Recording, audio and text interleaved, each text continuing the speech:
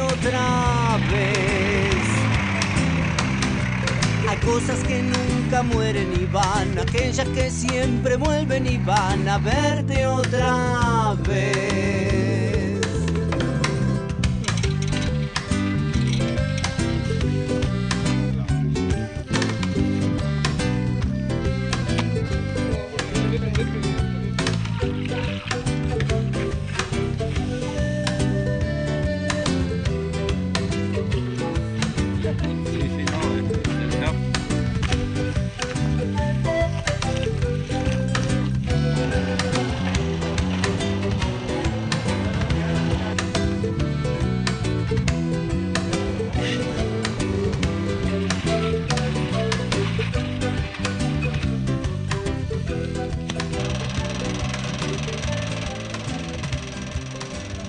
Todas las formas que se le puede ocurrir a alguien. Hay algunas técnicas más o menos definidas, pero el que las hace siempre le incorpora o le saca formas o cosas. Una de las formas con una maquinita hormigonera, otra forma puede ser haciendo un pozo en la tierra y pisándolo con los pies. Otra manera puede ser con una, una máquina como un molino de rulo. Otra manera puede ser esta, la de mezclar como en la ladrillera o también podría ser con caballos o otros animales. El asunto es poder mezclar la arcilla con el agua, la tierra eh, y con la fibra o con la arena o también se puede utilizar acerrín para limpiarlo, para hacerlo más térmico al material.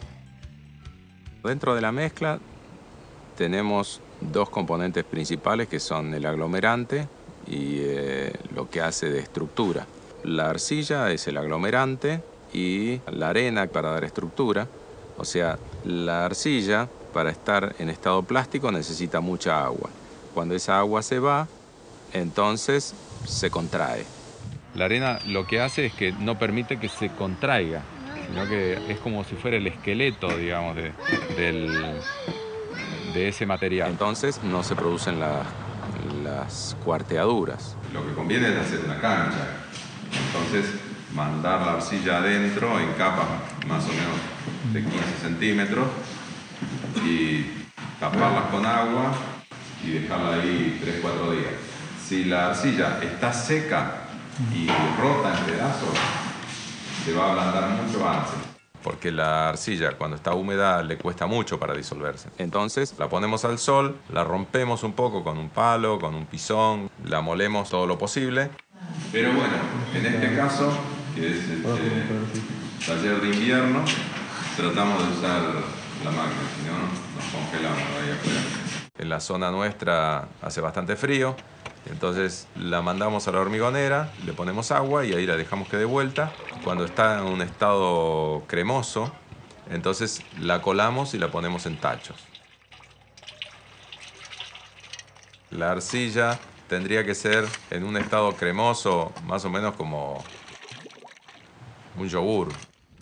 Las mezclas se pueden mejorar, por ejemplo, poniéndole bosta de caballo y haciendo que ese material se pudra.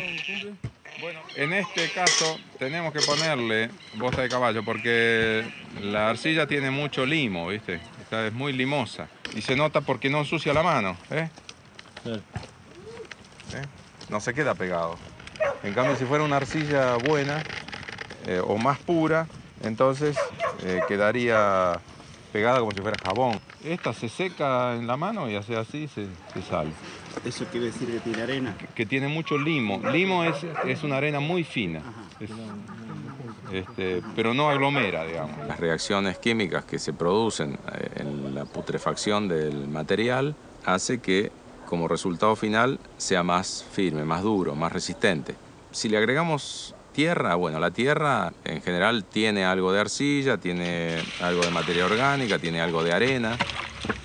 Mañana le agregamos arcilla, poco de arena, paja y formar parte de la pared de nuevo. Así que sería un, un, material que la única diferencia es la materia orgánica que puede llegar a tener. Yo le agregaría tierra en el caso de tener una cantidad importante de tierra para utilizar el material que tengo a mano.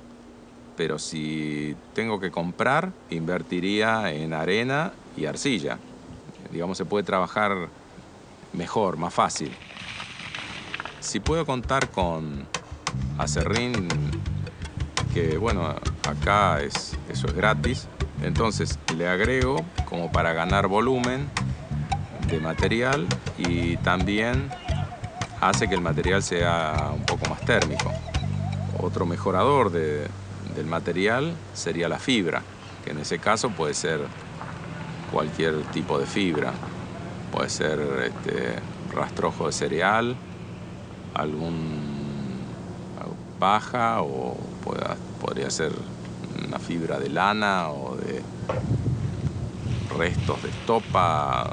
De, de las fibras ah, vegetales, la ideal es el coirón. De la paja de cereal es el centeno. Pero, ¿cómo te puedo decir? Con lo que hay, está bueno. Como hoy no había pasto, bueno, buscamos un poco de, de pinocha. La fibra lo que hace es eh, evitar eh, que, se, se rompa, Va todo eso entramado y la pinocha cómo se agarra, ¿eh? cómo se, va trabando dentro de, la masa. Digamos, la fibra trabaja la tracción, mientras que la arcilla y la arena trabaja la compresión. Entonces eso se hace un bloque que incluso este tipo de fibra, las fibras vegetales, no son como el hierro, que el, hierro es mucho más duro. Entonces, eso es lo que le da flexibilidad y, que sea antisísmica a una casa de tierra. Cuando tenemos que hacer algún trabajo con materiales naturales, tenemos que tener en cuenta que no son materiales estandarizados. Tenemos que hacer algunas pruebas para que tengas más seguridad cómo va a quedar lo que vas a hacer. Lo que tenemos que hacer es establecer eh, proporciones. Proporciones de los distintos materiales para después aplicarlas lo más fielmente posible en la mezcla que utilicemos para construir. Podemos hacer mezclas con diferentes cantidades de arcilla, arena fina, arena gruesa, tierra, serrín, es decir, los materiales con que contamos para trabajar. Si nosotros tenemos la arcilla así en estado de crema, cuando la utilicemos en la obra, tiene que ser exactamente igual porque si la ponemos después más líquida, eh, va a tener mayor cantidad de agua y por supuesto eso significa que hay menor cantidad de arcilla. Lo arrasamos, así, y ponemos.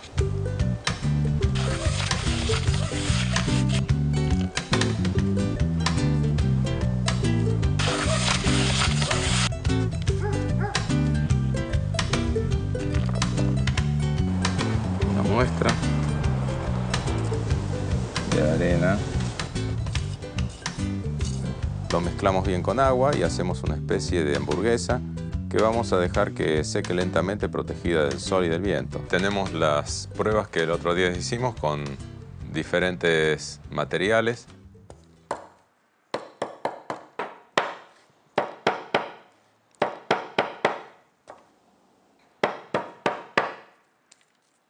Vamos a prestarle atención así cuesta quebrarlas o si se desgranan fácilmente. Esta es un poco más, más firme porque tiene más cantidad de arcilla. Las mezclas más resistentes las podemos utilizar para hacer reboques, que es la parte más expuesta de una pared. Y las mezclas un poco más débiles las podemos usar para hacer adobes o como relleno en otras técnicas como quincha, por ejemplo. Nos daríamos cuenta que una muestra no sirve absolutamente para nada cuando, bueno, la agarramos y, con una leve presión se desgrana. Estamos probando nada más que con estos materiales que trabajan a la compresión, pero que al agregarle la fibra, que es lo que trabaja la tracción, se hace este, por lo menos tres o cuatro veces más fuerte.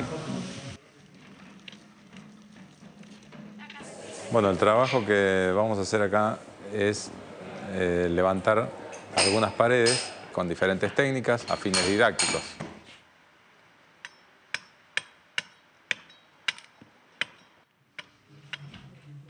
La técnica empleada en este caso es la que llamamos quincha o pared francesa y consta de una estructura de palos a las que van clavadas en forma horizontal algunas varillas y entre medio de esas varillas es donde se coloca el barro. Bueno, la distancia eh, dentro de la estructura es aproximadamente de un metro, es decir, puede ser menos, pero más no conviene porque si no es una estructura un tanto endeble para poder cargar toda la pared. Entonces conviene más o menos cada metro. Además las varillas de planta generalmente son torcidas, entonces es una distancia como para poder amoldar para que la estructura sea lo más derecha posible. La mezcla con que está hecho es con arena y arcilla, aproximadamente tres partes de arena y una de arcilla, con más o menos el mismo volumen en paja. La cantidad de paja depende mucho de la orientación que tenga la pared. En el caso de ser una pared que está orientada hacia el norte, lo hacemos con menos paja para que acumule más calor, que no sea tan térmica. Eh, y eh, para el lado de la sombra, o sea, del lado sur en este caso, eh, nos conviene ponerle bastante paja, cosa que sea térmica para que haya menos transmisión de temperatura vamos rellenando entre los palos. ¿eh? Con este tipo de estructura, eh, la facilidad que uno tiene es que en el día puede levantar la pared hasta donde tiene que llegar y ya en tiempo que no es tan frío como ahora, ya al otro día se le puede dar una mano de reboque porque la misma estructura lo mantiene. Es decir, por eso es una de las ventajas de este tipo de pared. Pero si es un tiempo en que no, seca mucho, o sea que no hace suficiente calor y ese tipo de cosas, entonces eh, esta técnica no es conveniente, porque tarda mucho más en secarse con la pared armada que pedacito a pedacito que serían los adobes.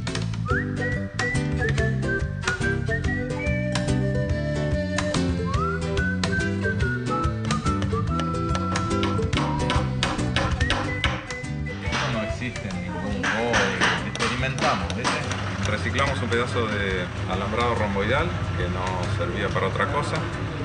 Y entonces eh, con un material parecido al de los adobes con lo que cortamos los adobes entonces simplemente le vamos dando una capa de adentro y otra de afuera y vamos a ir poniendo barro así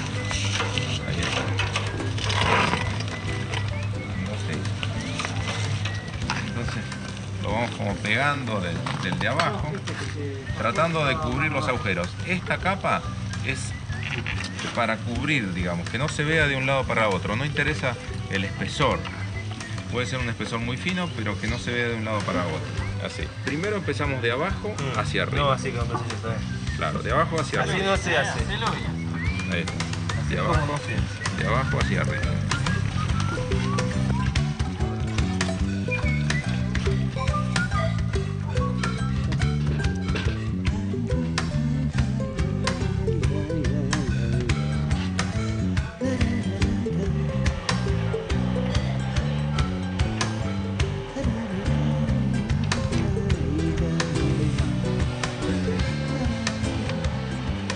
La técnica de paja encofrada se usa eh, principalmente por una cuestión térmica. Son paredes donde da muy poco sol, entonces para cuidar la termicidad de la casa son estas las paredes que se utilizan. Básicamente es un encofrado que se coloca para sostener el rastrojo de trigo, avena o cualquier otro tipo de pasto, aunque los rastrojos de cereales siempre son mejores porque contiene una caña que es hueca y eso le da mayor termicidad. Una vez colocados los encofrados, se rellenan con esta paja que va mezclada con arcilla pura de una forma como si fuera una ensalada condimentada con arcilla, digamos. Eso entonces, que cuando se aprieta que no chorree, ¿eh? que esté... bien sucia,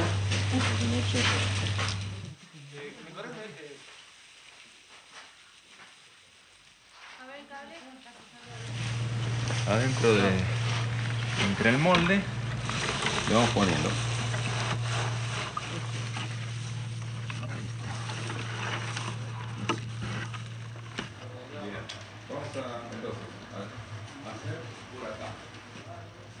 Y eso compactado, así simplemente con las manos o con un palito. Y luego de ese proceso se saca inmediatamente el encofrado y si hay que elevar la masa a la pared, se elevan los encofrados y se vuelve a repetir la operación. Pero siempre hay que tener la precaución de que agarre más o menos unos 20 centímetros más abajo, para que cuando se pisona, entonces no se abra de abajo.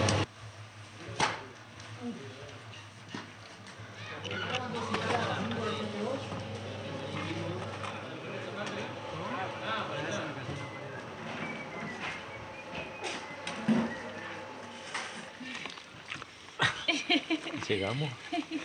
Ahí va, ahí va. Ahí va. Ahí, bueno. Uno, dos. Ahí está. Bueno. Vamos. Ponemos ahí. Y ponemos acá. Ahí está. Esta técnica se llama paja enrollada. Es paja enrollada con barro sobre un, un palo que entra en la estructura. La paja va enrollada sobre el, sobre el palo. Este trabajo se hace dentro de una batea.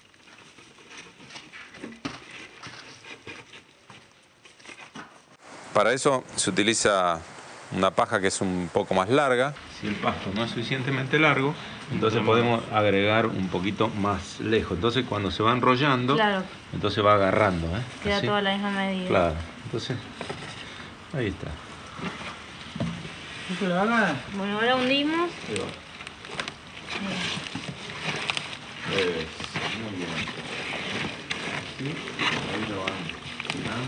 Espera que apenas se la ropa. Espera, espera. Dale que me cago de frío. A veces hacer como una ventanita que ponga eh, 20 De abajo. Ahí va. Y así es como se enrolla y se coloca en el lugar. Primero vos. Primero vos abajo. Ahí. ¿Y ahora entró ya? Y ahí entró.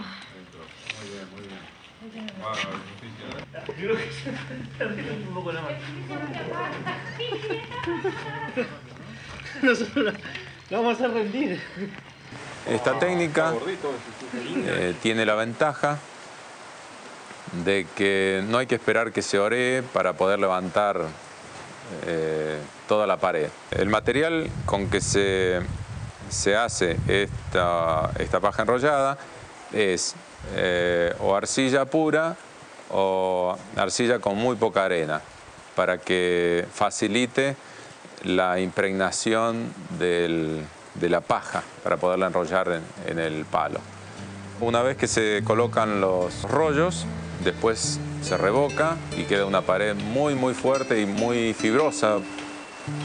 Esta técnica la aprendí a través de, mi papá, que él me enseñó cómo hacían eh, las casas, los corrales, galpones en Hungría.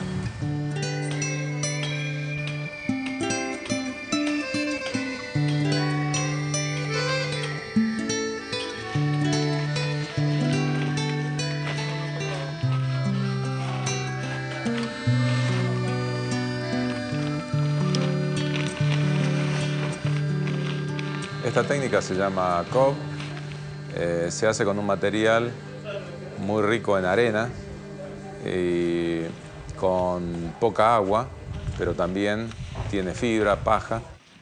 Es una forma de construir cuando tenemos poca madera.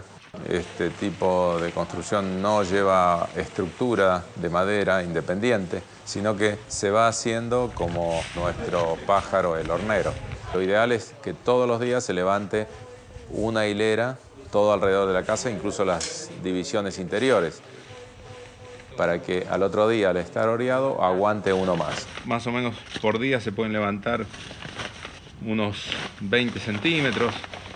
como mínimo, a veces se puede levantar un poco más. Y entonces si nosotros decimos, bueno, si por día puedo levantar todo alrededor de la casa eh, 20 centímetros, vein- 20 centímetros, en 10 días tengo 2 metros de alto. A la pared le vamos dejando como una especie de festón del lado de afuera. dejando siempre rugosidades o clavando los dedos y eso para eh, que queden eh, lugares que, o espacios que van a cubrir, va a cubrir la próxima vez que se ponga encima y eso hace que una con otra se una así muy fuertemente. ¿no? No, por supuesto, lo podés dejar muchos años y después seguiste. Y después continuar. Lo único que habría que hacer, si uno lo deja un buen tiempo, es mojar otra vez para que agarre. Este tipo de, de paredes eh, se van construyendo más anchas en la parte de abajo por una cuestión de estabilidad y más angostas de arriba. Por ejemplo, para una casa de una planta eh, se puede comenzar con un, un ancho de pared de unos 40 centímetros en la parte de abajo y termina en unos 20 centímetros de espesor en la parte superior. Antes de revocar, generalmente, o sea, con un machete se, se acomoda también.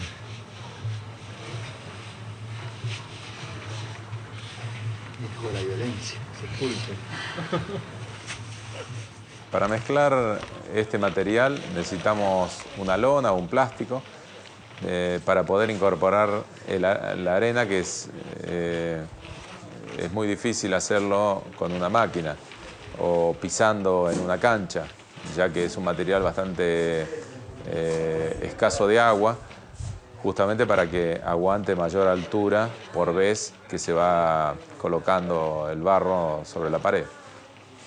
Así que lo tenemos que hacer sí o sí de esta manera.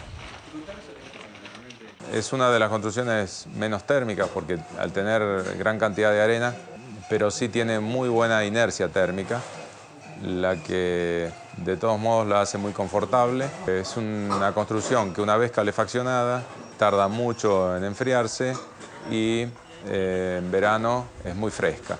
Este es el sistema más fuerte y más antisísmico. porque está hecha en una sola pieza y la fibra es lo que va entramando, es una construcción muy difícil de romper.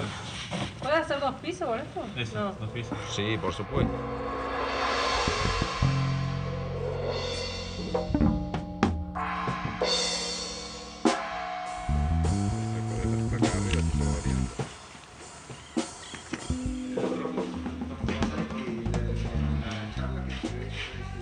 Estos bloques de paja y muy poca arcilla son unos bloques que los utilizamos en lugares que necesitamos más termicidad. O sea, del lado de las sombras están hechos de paja de cereal preferentemente. Y lo hacemos mezclando paja con arcilla líquida También lo podemos hacer con la máquina. Tiramos la paja adentro y le, le mandamos el... ¿eh? Ahí está. Simplemente es sucio con arcilla. Lo que hacemos, agarramos esto, es que cuando está bien sucia toda la paja, lo que tenemos que ver es que cuando agarramos así y la apretamos, no tiene que chorrear arcilla. Esto tiene mucho barro, ¿no? Tiene bastante, sí. Ese necesita más, se le puede agregar un poco más de paja, sí. Está toda bien sucia porque las partes donde no está sucia con arcilla no, se, no va a ligar, no, no se va a pegar. digamos. y después dentro de un molde lo prensamos. Bueno, el molde que nosotros usamos es para cuatro bloques por vez. Se me ocurrió ponerle una placa así de cada costado. Entonces, una vez llenos, se saca la placa y entonces el molde queda suelto. Los huecos del medio son caños de PVC de 10 centímetros de diámetro con un palito cruzado que se, se coloca en, repartido dentro del molde como para que, en primer lugar, seca más rápido. En segundo lugar, que son más livianos, más fáciles de transportar. Los chicos a veces usan un, palo nomás, así se va, se va haciendo así con un palo. Lo importante es que todo quede bien prensado, porque imagínense que esto tenemos que desmoldarlo y tiene que quedar armado. Que si nosotros, por ejemplo, apisonamos todo bien así, derechito, derechito, bien así, y, y apretamos, y después ponemos más y volvemos a presionar, el bloque lo más probable es que se, se parta, se va abriendo, porque no está entramado. Entonces, cuando nosotros presionamos, presionamos bien, después hay que los primeros pastos levantarlos un poquito. Claro, que se traben con los otros.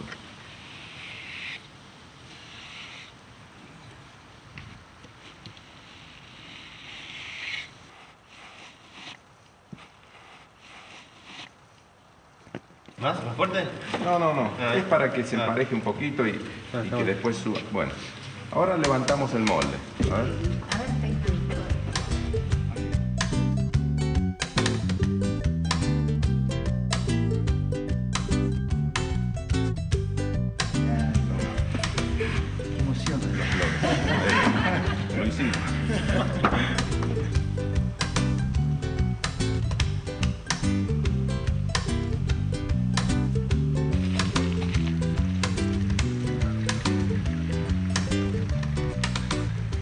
Esta zona y en época de verano se hace, al próximo día se puede inclinar de esta manera, entonces corre el aire a través de los huecos y se va secando.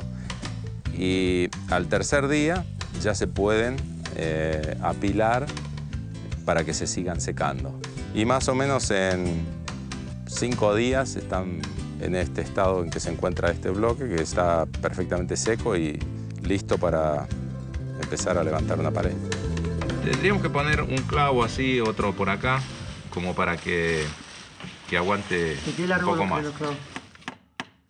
Bueno, ustedes ven que, por ejemplo, cuando van levantando, esto se mueve. Así que imagínense si el tramo es un poco más largo, se mueve más todavía. Entonces, para evitar esto, que tener unas varitas de esas. El asunto es que esto agarre en las juntas. ¿eh? Entonces va un medio, ver. ¿Hay un medio por ahí? Van trabados, así como si pusiéramos esto así. Entonces, ponemos un poco de... Bueno, acá tenemos que hacer que el barro se agarre de esto. ¿eh? Entonces, lo, lo que hacemos es fregamos. Entonces, agarra bien, ¿eh? Porque si nosotros simplemente lo ponemos, no, no se agarra tan fácil.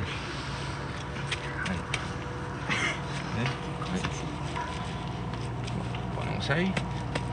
Listo. A ver el otro. Bueno, este material podría ser un poquitito más blando. Son bastante prácticos porque se puede levantar bastante pared. En un día se hacen muchos metros cuadrados de esta pared. Por ejemplo, estos, que si bien son livianos pero son muy compactos, podríamos levantar cinco o seis hileras al día sin ningún problema. No, no habría inconveniente.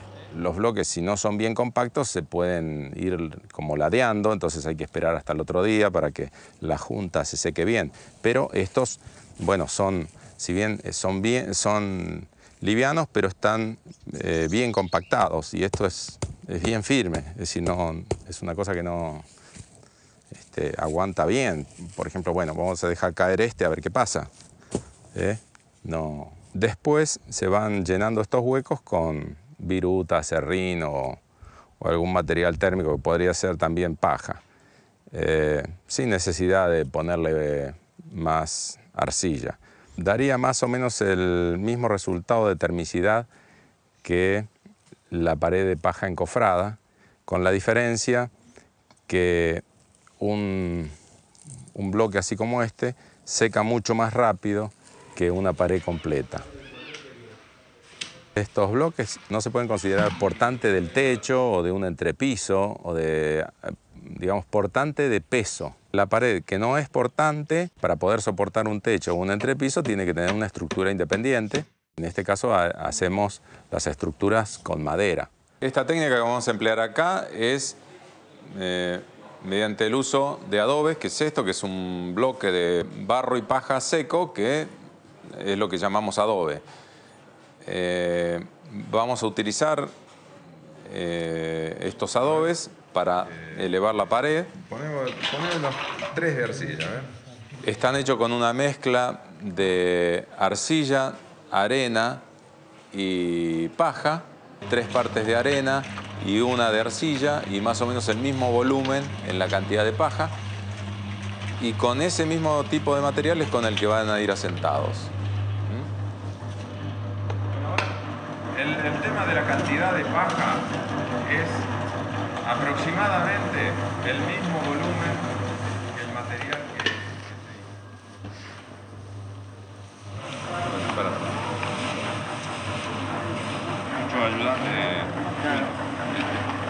¿Quiere que saquemos un poco?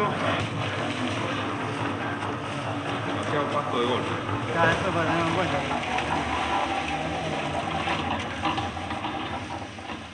De arriba está más o menos. Abajo está. Vamos a echar de vuelta.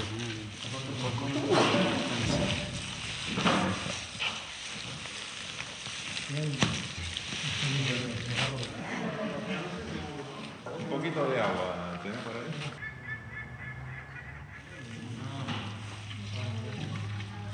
Está bien. La consistencia que estaría buena como para hacer, para cortar los adobes, es cuando uno pisa y saca el pie y entonces queda armado. Entonces esto estaría más o menos en condiciones de, de hacer, ¿eh? Antes de llenar el molde, siempre tenemos que mojarlo para que al desmoldar el barro no quede pegado. de esta. O sea, en el mismo lugar eh, se trabaja. Entonces, dame un par de baldes.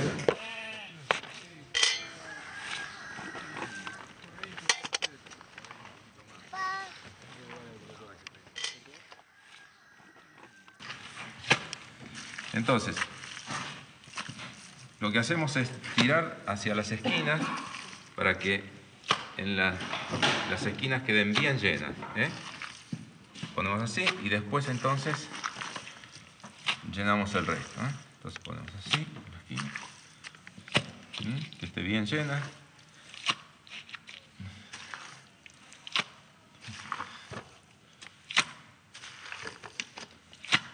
¿No está demasiado líquido? Ahora nos vamos a dar cuenta, si, se- si cuando lo desmoldamos se abre es porque es demasiado líquido. De todos modos, más, más blando que esto, seguro que no se puede trabajar. También se puede tener un, un palito o algo como para pasarle encima. ¿eh? Si no, simplemente la mano. Y que no haya ningún pasto que, quede sobre la madera, ¿eh? porque si no al levantar desarmamos el, el adobe. ¿eh? Y bueno, ahora lo agarramos y lo levantamos. Este como es nuevo, por este-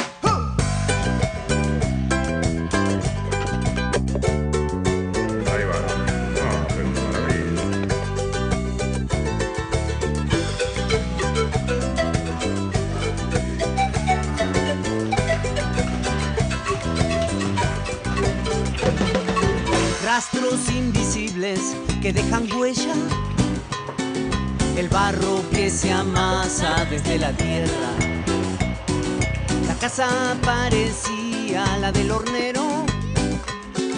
El pensamiento vuela por los senderos. Hay cosas que nunca mueren y van, aquellas que siempre vuelven y van a verte otra vez. Hay cosas que nunca mueren y van, aquellas que siempre vuelven y van a verte otra vez.